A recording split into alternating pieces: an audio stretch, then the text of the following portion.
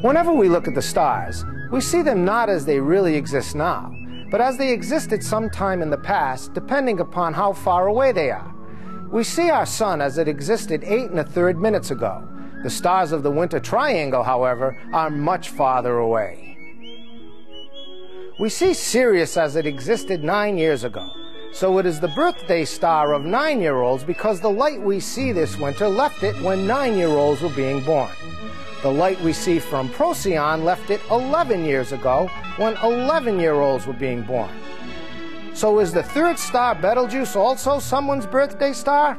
You bet, if you were born 525 years ago, because the light we see now left it in the year 1486, when both Ferdinand Magellan and Montezuma were both six years old. Keep looking up.